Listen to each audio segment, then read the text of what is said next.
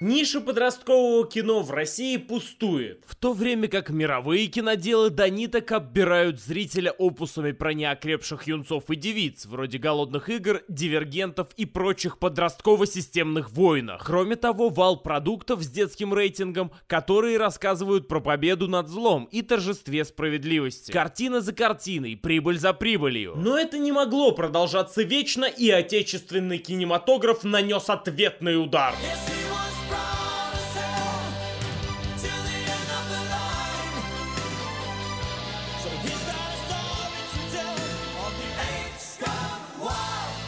Мега успешная вирусная реклама, 22 миллиона просмотров. Полтора миллиона долларов бюджета, благодатная тема. Неужто есть шанс? Давайте же узнаем. Фильм начинается с записей настоящих происшествий, дабы приблизить зрителя к реальности, показать, что рассказанная история могла произойти. И внезапно паркур в стиле игры Dying Light.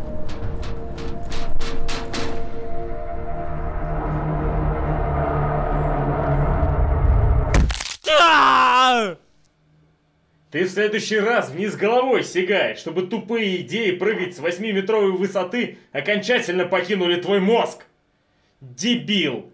Но нет, наш, как потом выяснится, диванный паркурщик без кувырка аккуратно приземляется на крышу и начинает прямую трансляцию своей рожи на все билборды и телевизоры в магазинах. Нет, чтобы действительно полезное сделать, вроде трансляции порнухи. На этом сцена обрывается, и нас знакомят с главной героиней по имени Кира, которая сталкивается с хамством на дороге. Мужчина, здесь нельзя оставлять машину, парковка чуть дальше. Пошла ты! А если бы у нее была наклейка, все сложилось бы иначе.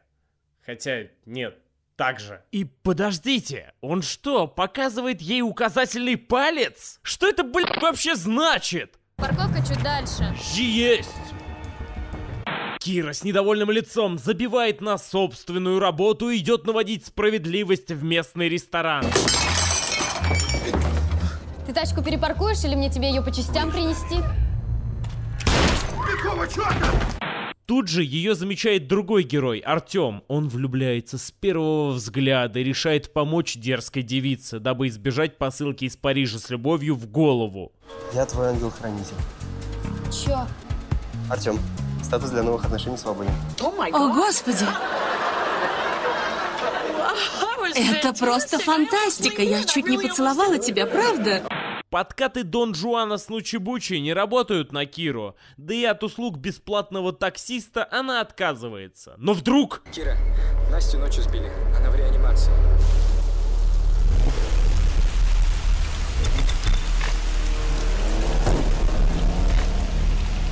Напоминаю, сбитая женщина стоит 10 очков. Подростки – 40 очков. Дети до 12 лет – 70 очков. Если вы думаете, что это выражение лица не изменяется от шока, вы ошибаетесь. Оно не изменяется из принципа, видимо, от страха мимических морщин. Либо синдром Кристиан Стюарт, либо режиссеру насрать. Врачи говорят, Настя чудом осталась жива. Ох, эти эмоции, ох, эта пластика. А ведь еще нас ждут диалоги. Ты что, с Кирой приехал? Вообще-то я ее привез. Что-то я тебя раньше не видел, друг. А ты что, ее парень, что ли, что всех видит? Да, парень, ничего. Кира в курсе? Ты что, самый умный? Чё они столько чокают? Хотя подождите. Чё, чё, чё? Три других слова? Опять чё, чё, чё? Да это ведь СОС! Азбука Морзе! А ну пиши сценарий, тварь! Я, я буду писать, но вы хоть носки снимите! Что за неуважение к Творцу? Человек гомоватого вида, Федя, зафрендзоненный друг Киры, который после армии не может сдержать внутреннего гопника. Но даже до его мозгов доходит, что 250 тысяч долларов на операцию подруги будет тяжело найти. Полиция свидетелей не нашла и дело заводить пока не буду. А что от ментов еще ждали? Позвольте, объясню, как все будет. Слушай, этот клоун всегда так разговаривает. Федя, Ты переигрываешь. Что? Как вы смеете говорить актеру эти жестокие слова? Это актерская игра, это перформанс. Людям нужно хлеба и зрелищ, а я самый сытный батон. Окей, окей, едем дальше. Так бы сразу. Полиция по свиньячи разводит руками, пачкая заявления. Свидетелей найти не получается, и Кира, несмотря на скептицизм Артема, делает пост в социальных сетях, в ответ на который великий аноним присылает видеозапись происшествия и досье на богатейшего бизнесмена России. Кира собирает яйца в кулак и идет напрямую к богачу. Благо, стечение обстоятельств. Но вы знаете, чтобы попасть на прием к одному из самых богатых людей России, не обязательно брать с собой паспорт. Позволяет ей без проблем предстать перед лицом конченой, наглой, состоятельной мрази. Ему плевать на доказательства, все куплены, да и вообще. Зачем беспокоить людей, попавших под машину тупыми вопросами? Вы ранены? Ну, конечно, они ранены. Посмотри на всю эту кровищу. Ты только что их переехал на полутора тонн стали. Конечно, им больно, оставь их в покое.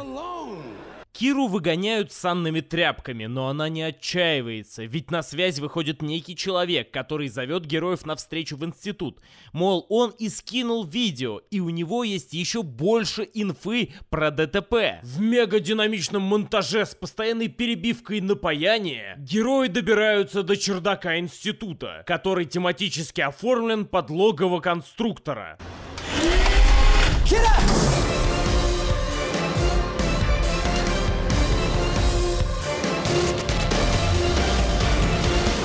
Ладно, ладно.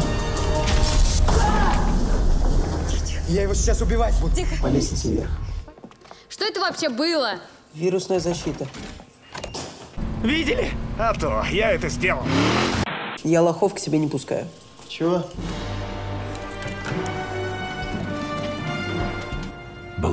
Здравствуйте, мистер Бонд. Мега-хакера, который возвел себе хакерское гнездышко на чердаке института, зовут убогим именем Женя, и он такой хакер, что знает все про главных героев. И первым под раздачу попадает Артем. Бабник, лгун, любишь понтоваться. Даже часы эти не настоящие, а подделка. Федор Быков. Но. Недавно пришел из армии. Много приводов в полицию, хулиганство, драки. Фанат фильма «Сумерки». Это все знают. Раскопай что-нибудь прикольное. Ты хочешь трахать парней? Это не каждый раз. Старик, не дуйся. Мега-хакер тоже хочет отомстить бизнесмену, которого, кстати, зовут Полянский. Тот, при том, что ворочает огромными суммами денег, зачем-то бонусом отбирает квартиры, одна из которых принадлежала семье Жени. В пылу обсуждения вскрывается интересный факт. Давай будем откровенны. Мы с тобой здесь собрались только потому, что мы хотим Киру. Относись к ней уважительно. Она не вещь, чтобы ее делить. Ребят, заключим пакт. Он имеет в виду слово пацана. Накажем Полянского, поможем девушке. А Кира после сама решит, с кем она будет. Он себя так всегда ведет. Чай будешь? Будь здоров. Ой, смотри, как он мило спит. Как обычно в подобных фильмах, хакер использует какую-то невиданную операционную систему, носящую гордое название «компьютерная графика». Правда, даже с помощью нее хакер не может взломать и украсть деньги у Полянского, так как у бизнесмена на ноуте стоит уникальный софт, и только через тот ноут можно проводить операции. Максимум, что смог хакер, это ломануть почту и еще пару источников, откуда стало известно, что Полянский подыскивает остров, любит эзотерику, лежал в психушке, ну и бонусом у богача аллергия на клубнику. Погоди.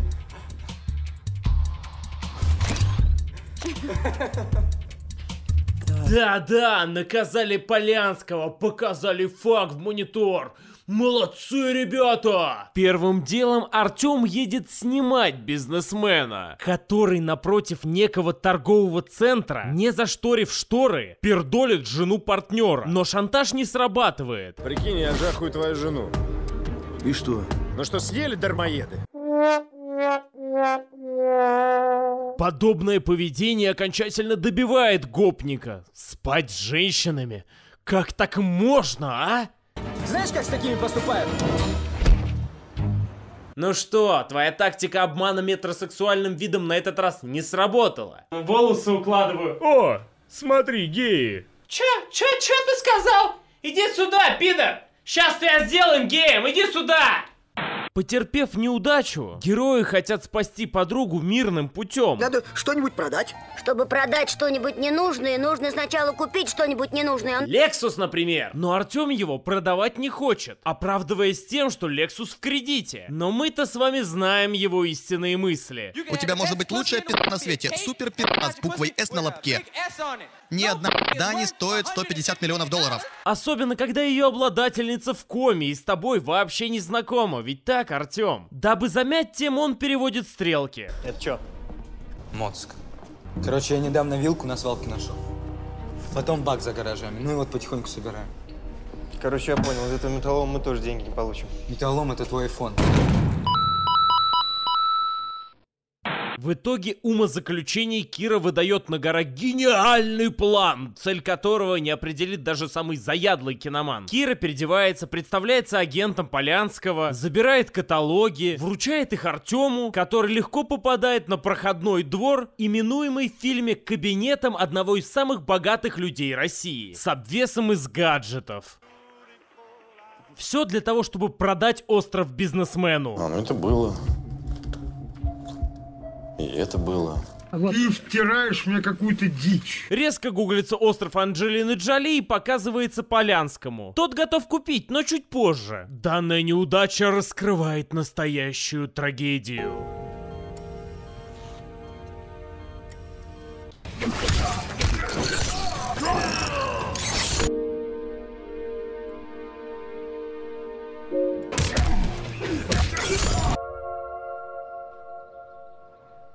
Просто драма не цепляет, и мне плевать. Новый день и новый гениальный план. А именно попасть в один из самых дорогих отелей России, в номер одного из самых богатых бизнесменов России. Для этого перед номером сбивается уборщица, затем она забалтывается, пока копипастится карточка. И вуаля, у вас есть карточка, и вы в номере миллионера. Президент инициировал протокол «Фантом». Мы упразднены. В номере Полянского успокоительные таблетки заменяют на стимуляторы. Именно это поможет вытащить подружку героев из комы. Подростки, видимо, знали, что в номере будет картина, поэтому за ней крепят специальный механизм для движения полотна. Именно это поможет вытащить подружку героев из комы. Также ребята подменяют блины гантелей на более тяжелые. Именно это поможет вытащить подружку героев из комы. Устанавливают будильник на 4 утра и загружают туда надоедливую мелодию. Также подмешивают в отельное мыло экстракт клубники, на которую у бизнесмена аллергия. Именно это поможет вытащить подружку героев из комы. Сука, чем вы занимаетесь?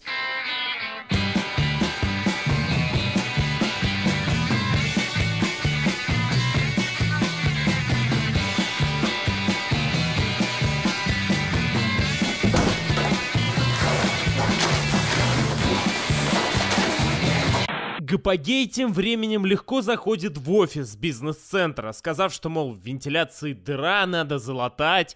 Девочка с ресепшена говорит, ой, конечно, хотя и не вызывала, и никто не вызывал, но раз вы пришли, значит надо. Похоже на сценарий какого-то порнофильма. Так, ползешь прямо до развилки. Потом налево. Приезжай в Калифорнию. Отдохнем, развлечемся. Все это делается ради того, чтобы в огромной системе вентиляционных шахт огромного небоскреба доползти до офиса Полянского и заполнить его помещение веселящим газом, пока Кира с Артемом обновляют подлянки в доме бизнесмена. И меняют там картину. Кстати, из-за веселящего газа у Полянского начинает ехать крыша. Ты что творишь? Ты что, совсем обалдел, что ли? Они повсюду. Кто? Ну, они следят за нами. Ты и я спасем людей. Собирай всех уходить. Ты совсем что? Не приближайся, беги! Беги! Они приземлились, хватайте просто не консервы, все, что сможете унести, переселяемся в канализацию. Один из моих любимых актеров Денис Шведов настолько мимо в роли шизанутого миллионера, что скорее поверится в Николаса Кейджа, исполняющего роль Барака Обамы. Наши расходы, они слегка преувеличили Слегка, да? ожидаемые... Слышал, что сказал? Слегка, да? Ах ты гад мне. Откуда вы взяли этого дебила, а? Ну-ка, иди сюда. Значит так. Ну-ка, снял этот газ, только выкинул его нафиг. И ты уволен. Дело не в том, что Денису Шведову не подходит роль богатого миллионера. Вовсе нет. Дело в волосах.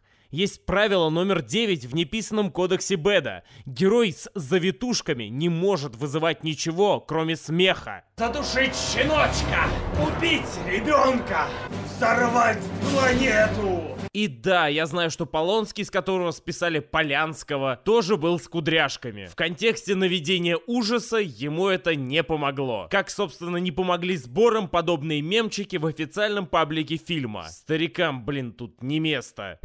Неловко получилось. Это уж точно. Конечно, веселящий газ действует только на одного человека. Остальные даже запаха не чувствуют. Кроме того, Полянский видит, что поменяли картину, валит все это на собственную психику и идет в душ. По-моему, ты немного увлеклась.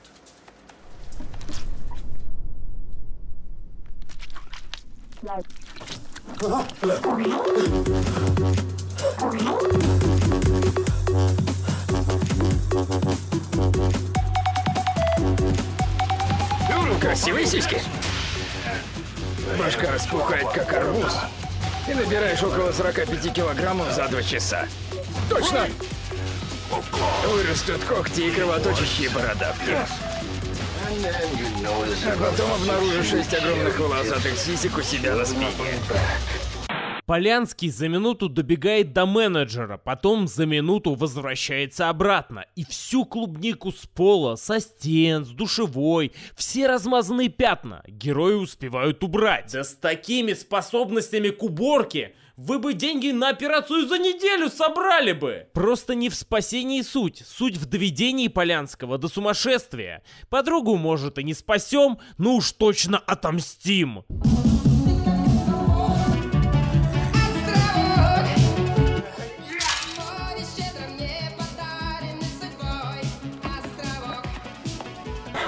Пит, я не кончил тебя.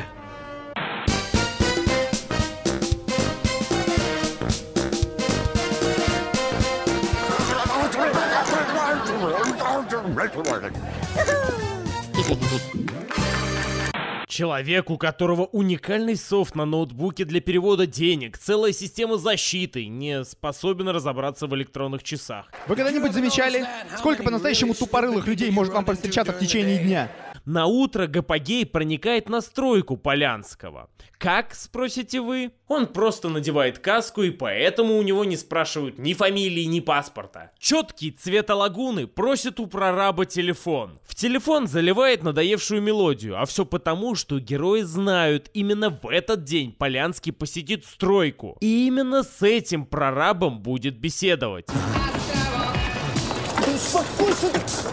Иди сюда! Я еще не закончил с тобой! А героям весело. Неважно, что из-за них невинный прораб посидеет. Ну представьте, если обычному человеку с семьей будет угрожать беспредельщик-миллионер. Также юные мстители меняют телетрансляцию, видимо, предварительно попросив ведущую новостей и Федора Бондарчука наговорить нужный текст. Я ее ведущий Федор Бондарчук. Смотрите сегодня в выпуске. Сафонов кинет Полянского и на открытии впервые за всю историю фестиваля. Вы бы включили ему одноклассники на клик и удачу. Он бы вообще в окно выпрыгнул. Утром Полянский на картинах видит черепа, но это еще не все. Здравствуйте, хочу заказать группу 4.20. Здравствуйте, я хотел бы заказать доставку 22 пылесосов. Модель XR73. То есть никто не просит ни предоплаты, ни каких-то персональных данных.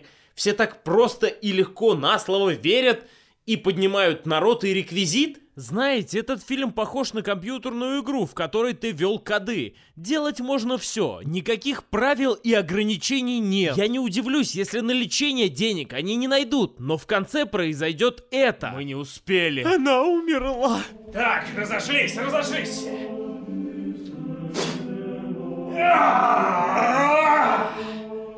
Это был Иисус. Иисус, покидай здание.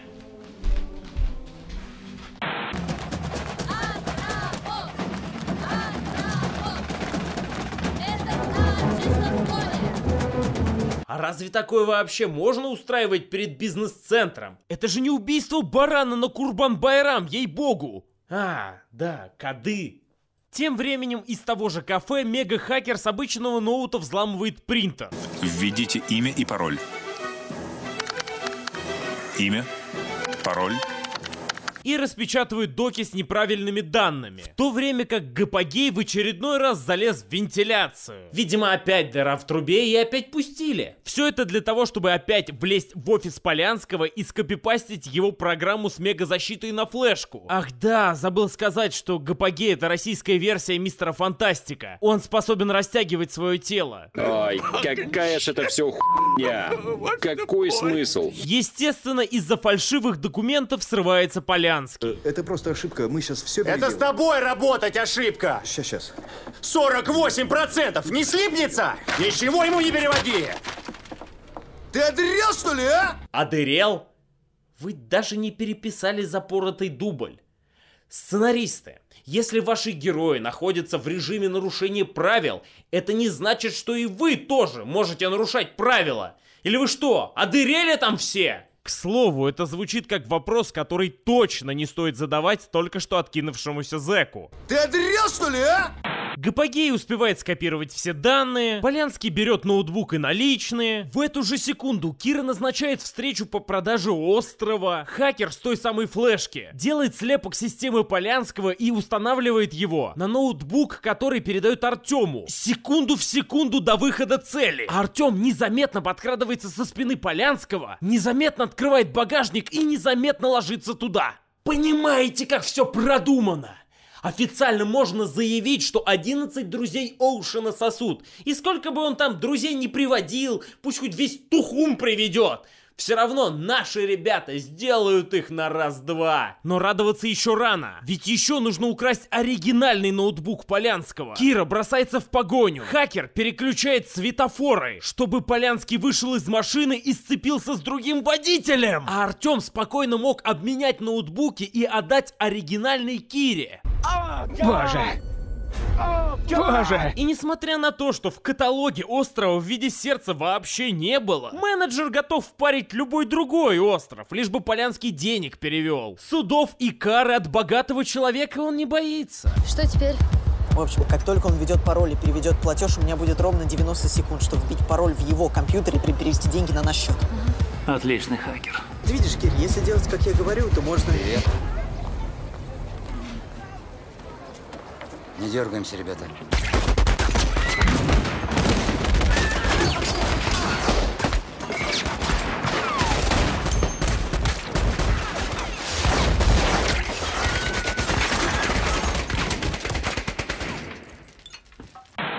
Бери ноуты ко мне. Хорошо. Ноут сюда. Беги! Ну правильно, пистолет был наведен на нее, а не на него. Поэтому паренек так храбр. Ты мне условия ставить будешь?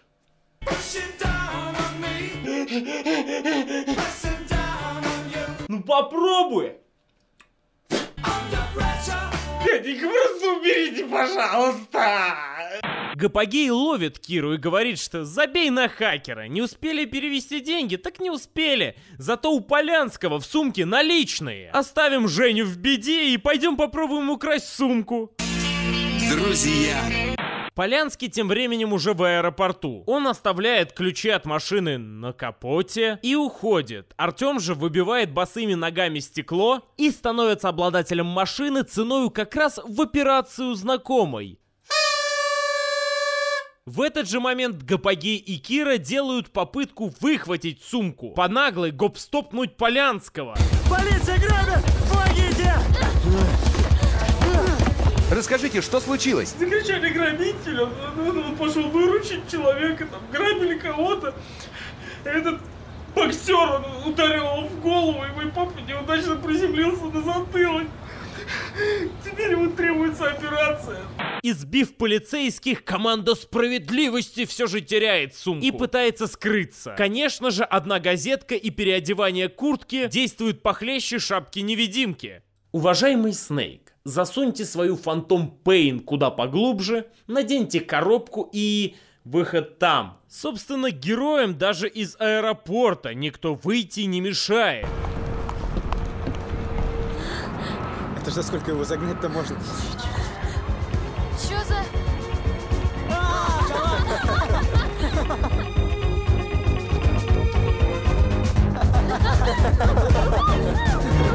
Кто-нибудь из вас задумался над тем, что в данный момент с хакером, который ради вас же пожертвовал собой? Да, вы теперь можете спасти свою подружку. А то, что вашего друга могут пытать или покалечить, вас нисколько не волнует. Вот покалечат, тогда приходите. Мы сразу придумаем какой-нибудь гениальный план. Ну а пока не покалечили, выкручивайся сам. Конечно же, в очередной раз героям везет, и хакера не трогают, а злодеи радуются полученному ноутбуку.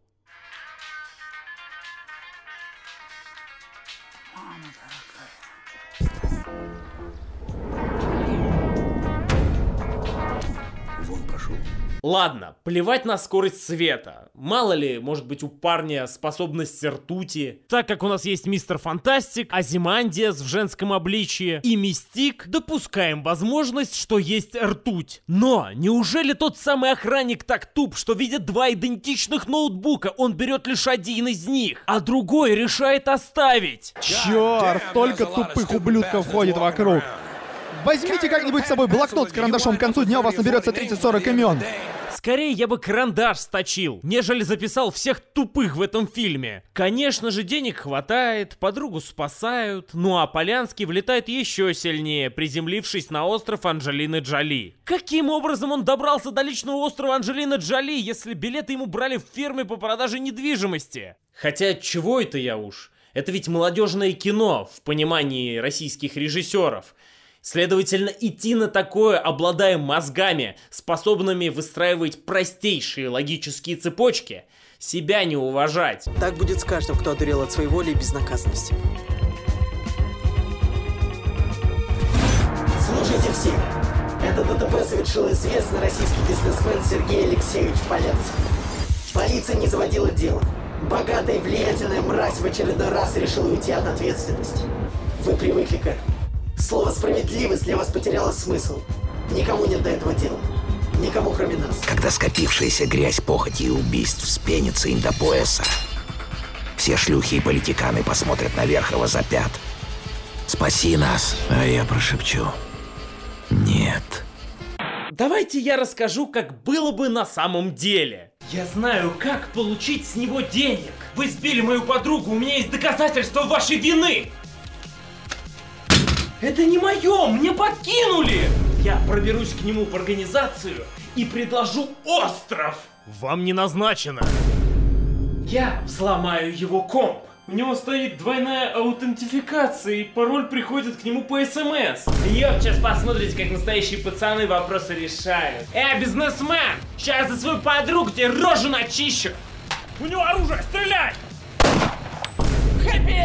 Вот поэтому у всех супергероев есть суперспособности. Это допущение позволяет героям вершить правосудие и быть сильнее других. Но на самом деле у вас-то нет суперспособностей. Да и денег, как у Бэтмена, нет. Или оружия, как у неуловимых Мстителей. Вы просто нарушаете логику мира, в котором существуете, превращая происходящее в полнейший абсурд и идиотию. Это не Мстители, это Мстюны.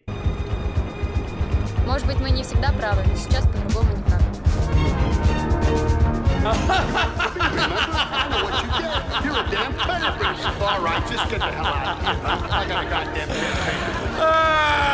Может быть, в российском кино есть хорошие режиссеры, сценаристы и актеры. Но сейчас эти и по-другому никак. Всего плохого. Ах да, перед титрами показывают трейлер второго фильма.